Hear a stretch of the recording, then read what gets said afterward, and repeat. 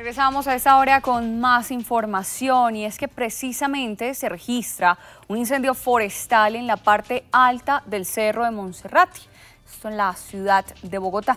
Bomberos de tres estaciones se encuentran atendiendo la conflagración que fue reportada en horas de la mañana por toda la ciudadanía. Se espera que hasta el punto pues también lleguen las diferentes instituciones distritales de emergencia para controlar y mitigar las llamas. Algunos bogotanos reportan que la columna de humo se puede ver desde el occidente de la ciudad.